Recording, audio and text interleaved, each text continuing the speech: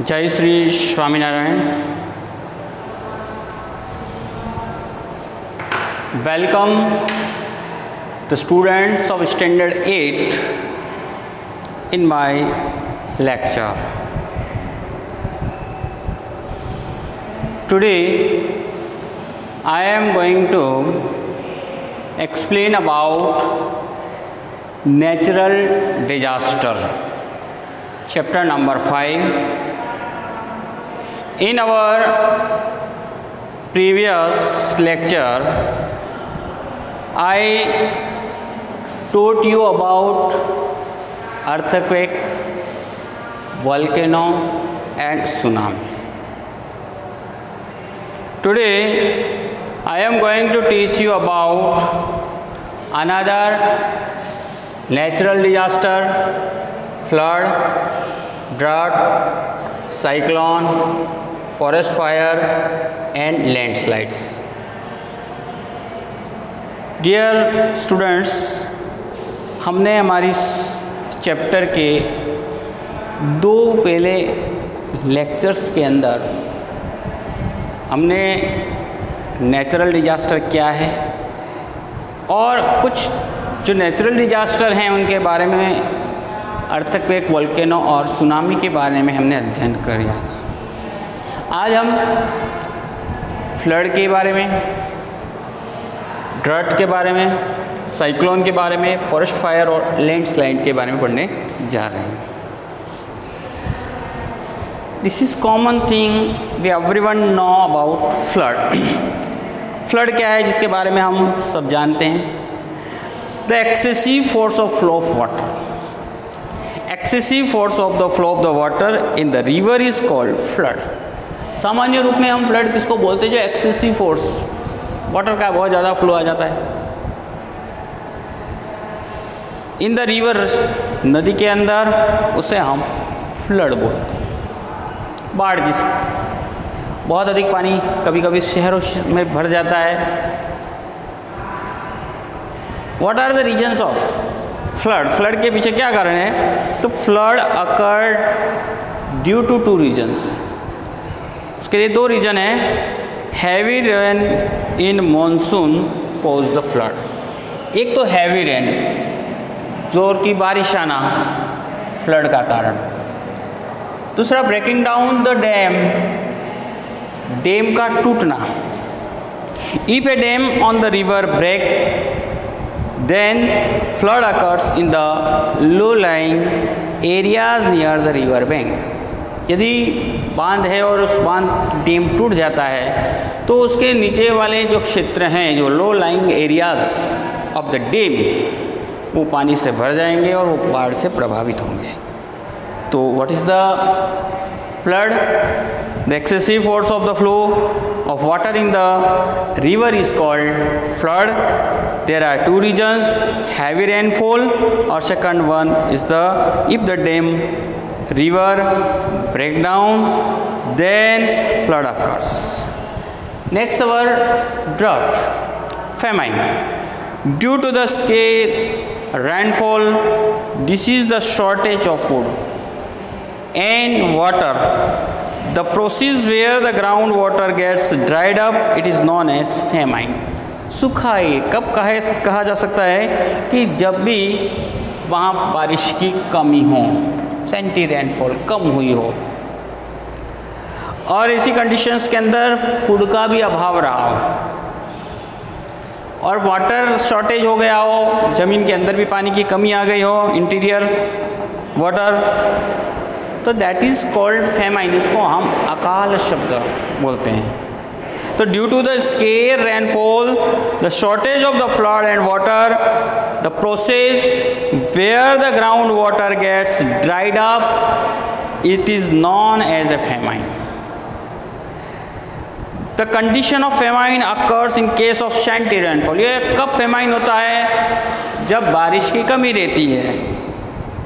No rainfall for continuous two and three years दो से तीन साल तक यदि बारिश नहीं गिरी हो, चारों ओर सूखा हो गया हो, पानी ड्राइड अप हो चुका इवन इंटीरियर पार्ट में तो ये हम उसे फेमाइन बोलते हैं। The possibility of the famine is less हम फेमाइन को कम कर सकते हैं। हमारी कुछ पॉसिबिलिटी हैं। If we grow more and more plant यदि हम प्लांटेशन करें ट्रीज़ को ज़्यादा से ज़्यादा उगाएँ और उसके बाद में इन्वायरमेंट को हम खराब होने से बचाएँ पोल्यूटेड नहीं होने दें तो in that condition we can save है ना? हमारे अर्थ के जितने प्राणी उनको हम उससे बचा सकते हैं।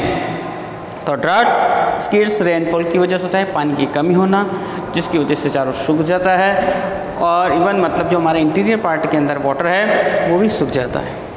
नेक्स्ट है साइक्लोन साइक्लोन किसको बोला जाता है? What is the air which is blowing with high speed अरे, वैसे तो आपको एयर बहुत अच्छी लगती है, हवा बह मज़ा आ जाता है। लेकिन अगर वो हाई स्पीड से हो तो it is a destructive it become destructive हो जाती है हमारे लिए। तो cyclone is air which is blowing with high speed जो हाई स्पीड से चलती है it can be called storm और वर्ल्ड विंड जिसको हम स्ट्रॉम और वर्ल्ड विंड कहते हैं। Many time such storm occur in area near seashore ज़्यादातर ये कई अक्सर हमेशा हमें देखने को मिलता है, और वो समुद्र के तटीय वाले। समुद्र तटीय क्षेत्रों में, और जो बहुत ही डिस्ट्रक्टिव कर देता है। Seashore in India due to it the nearby area always experience the velocity of winds और वहाँ पे हवा की जो गति होती है वो बहुत तेज नज़र आती है और more excessive and wind gets violent और ये विंड क्या हो जाती है? बहुत ही वायलेंट रूप धारण कर लेती है और जन धन की हानि कर देती है। Anyhow the violent winds influence the limited area ठीक है? आसपास का जो एरिया होता है, वो बहुत ही प्रभावित करता है। And for the limited periods of time के लिए, कुछ समय के लिए।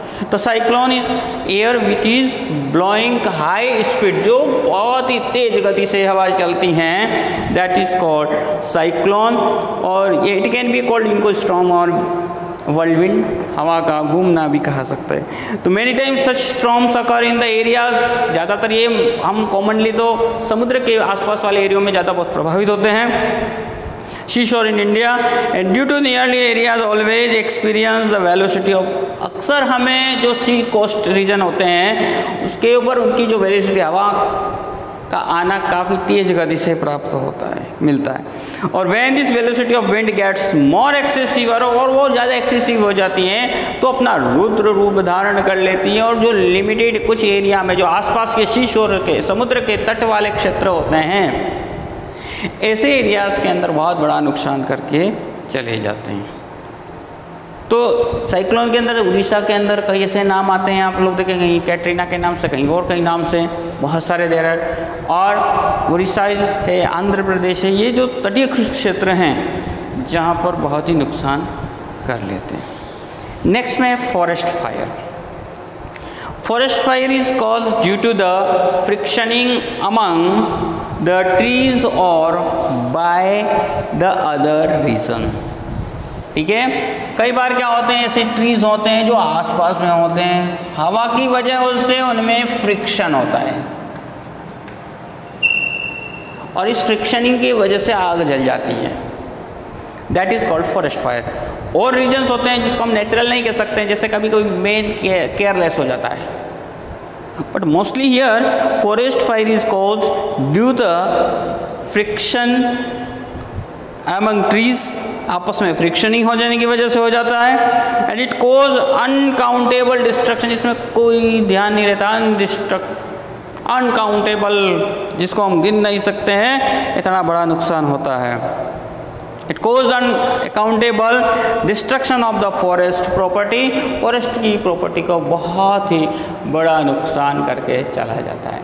अभी इसके लिए प्रिकॉशंस क्या हो सकते हैं? कि हमें फॉरेस्ट फायर टीम प्रिपेयर करनी होगी। जो हमेशा गश्त लगा के ध्यान रखें।